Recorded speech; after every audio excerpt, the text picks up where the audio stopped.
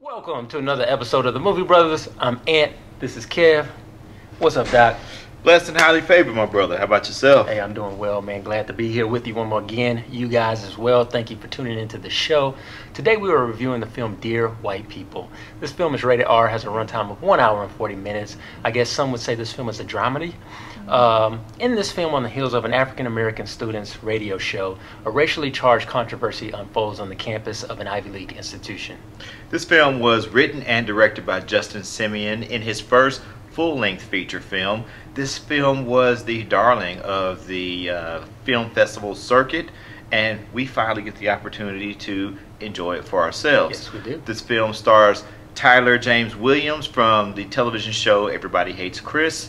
Uh, it also stars Tessa Thompson, who, if you are a Veronica Mars fan, you might remember her from that or from the film For Colored Girls. Uh, Brandon P. Bell stars in this film, as well as Dennis Haysbert, President of the United States from 24, and Yeah. the Allstate man.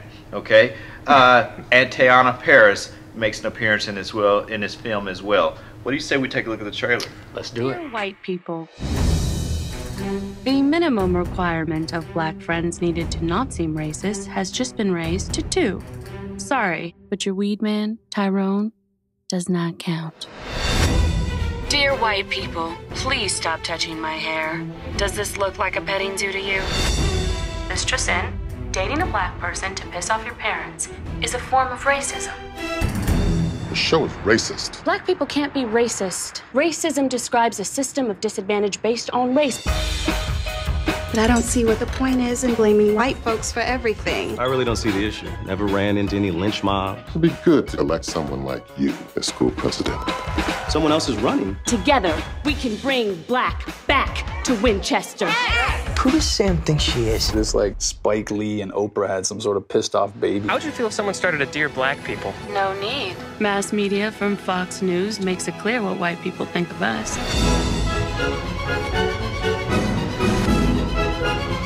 Your hair is so cute. Is it weaved? Weaved. It's weave. Noun. Present Dear tense. white people, do not be afraid to see this film. That's my first message to everybody, okay? I know the title may scare some of you of the uh, Caucasian persuasion, uh, but I'm here to tell you do not be afraid to see this film. This is not some indictment or bash just on white folks.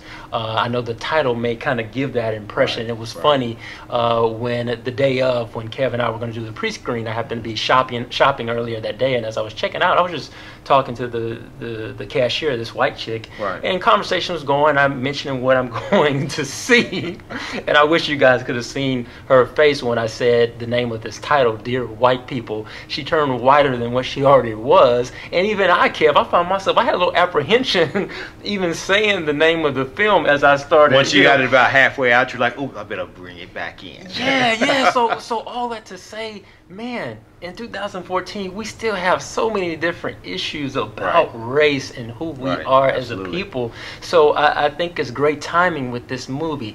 I love, love, love seeing fresh faces on the big screen. Um, for me, with the exception of Tyler and Dennis, uh, I haven't seen these actors before. Right. And so it was wonderful, and not only just seeing new faces, but talented new faces. Okay, Right. uh, they did a phenomenal job uh, representing uh, the characters that they portrayed in the film, Mm-hmm. and I look forward to seeing them uh, more on the big screen or the or the little screen. Absolutely, I agree with you, Ed. Uh, I was very impressed with Justin Simien. Uh, he shows a deft hand behind the camera as well as in his writing style. He frames shots in a very thought provoking way that service his equally thought provoking script. Um, I was very blown away by this. I like the level of professionalism that he displays here, and he gets the best out of his actors, many of whom, like Ant said, are not necessarily household names, but they should be. and I think they will be after this. Yeah, no doubt. Um, great job by Justin, especially with your writing of the script, the subject yeah. matter that, that you address. And um, I think the timing is perfect. We live in this flat world. It's a global. It's a global society. The, the world is flat, right?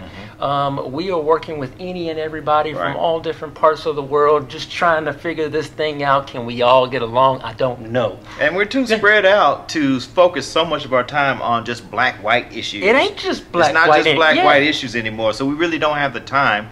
That is really kind of expressed in this film. No, absolutely, absolutely. Now, on the flip side of that coin, uh, Justin addresses so many different uh, issues we are Right, dealing with right.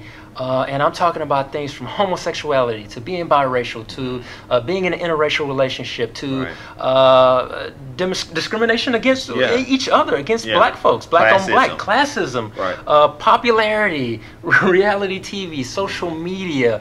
What does it mean to be black? Hmm. All the, that's a lot. It was a lot for me. Right. Now, don't get me wrong. All of those different issues are, are right on and definitely need to be talked about and Right. addressed. But it was like going to a, a- a really good restaurant and the food's coming out too fast, right? The appetizer's great. Let me enjoy my appetizer before you come with the entree. And the food just keeps coming, coming, coming. Too much for me. I had to pack up a bunch of doggy bags on this thing. You know what? I had no problem with my doggy bag, to be completely honest with you, Ant.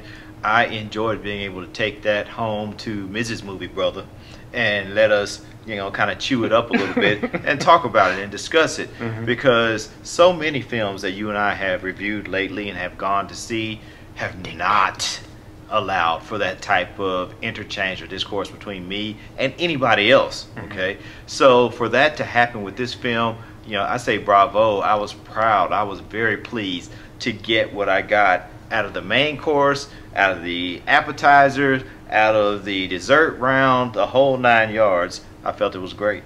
All right, yeah.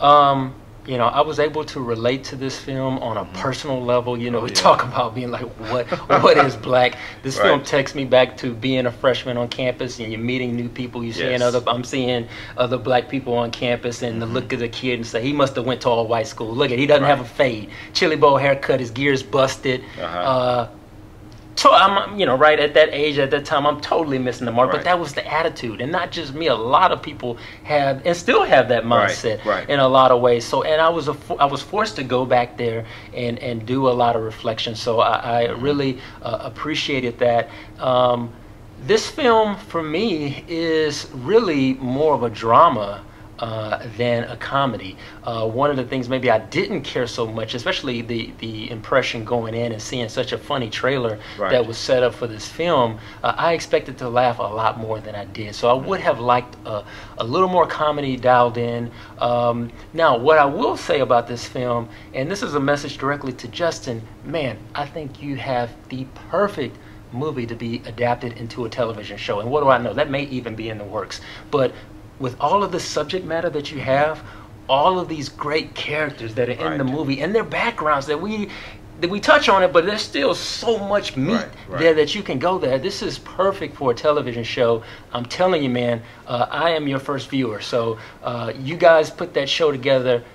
I think you'll definitely have an audience. Well, and I believe that you can take this a show like this into a direction that, say, a different world, you know, couldn't dream of taking it in, particularly in the time in which it was, uh, which it was produced and when it came out.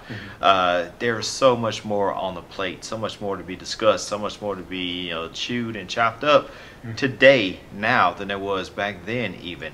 So I would love to see something like that. I think that would be an outstanding idea um, you know, we've talked about it. You and I have very similar backgrounds, and our backgrounds mirror a lot of what we see in this film. Yeah. So it's easy for us to understand where it's coming from. Um, I really enjoyed the script. I enjoyed the pacing of this film. Uh, I thought it was very well done. The acting is incredible from top to bottom. Um, and I, and I got to say, you know, I think that this film, you know, it shares a DNA strand that is very much like Do the Right Thing, more so than films that it will be uh, related to, such as um Higher Learning or School Days. Yeah. Okay. Uh, this film is a little bit more militant in tone than those films were, and I think that it, it really touches on a lot of different issues. Ant says maybe too many. I can understand where he's coming from because some of these issues get the short shrift. We don't really get a chance to explore them as much as they probably deserve to be explored. But the fact that Justin Simien has the nerve, okay, the Mhm. cojones Mhm. to even bring these issues up and explore them at all, okay, that made me proud. All right. Can we put some points on this thing? Let's do it. All right. Hey, for me, um, I would probably put this film in the same vein as Higher Learning or School Days, but that's not a knock. I don't think that's necessarily a bad thing.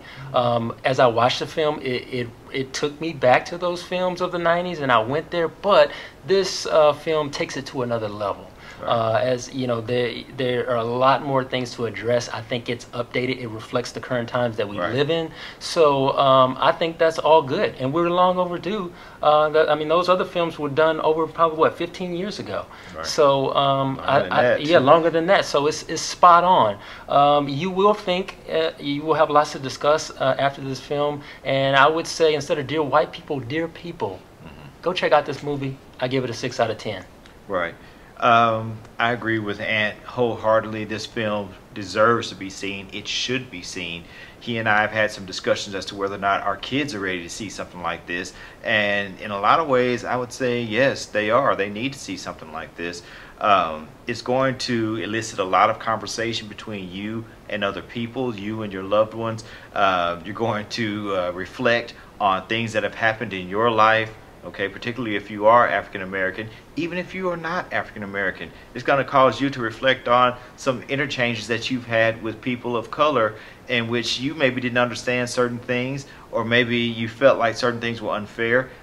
No stone is left unturned in this film, and I love it, okay? I give this movie a 7.5, and I highly recommend it. All right, there you have it, guys. Uh, that is our show for you today. Be sure to like us on Facebook. Or you can follow us on Twitter at The Movie Bruthas. All right, and be sure to su- subscribe to this channel. We would very much appreciate that. Uh, so click on that subscribe button, like now. Okay, all right. That is our show. We are the Movie Bruthas. I'm Ant. This is Kev. This is the place, the one and only place. Don't ever get it twisted. And accept no substitutes. Don't do it where we bring you nothing but the real on the real. Peace. I like them like this myself. I like